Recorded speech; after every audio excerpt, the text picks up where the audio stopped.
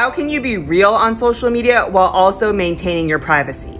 Set boundaries for yourself and know that vulnerability looks different for everybody. For example, I'm open about certain parts of my life.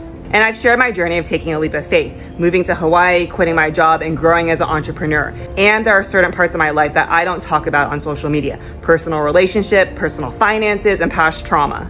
And other people are okay doing that. They share about their dating life, how much money they make, and more. Being real looks different for everyone. It can be you filming from your home, talking about a past challenge you've overcome, or sharing a childhood photo. Authenticity and vulnerability is something that cannot be faked, so try doing different videos and see what works for you.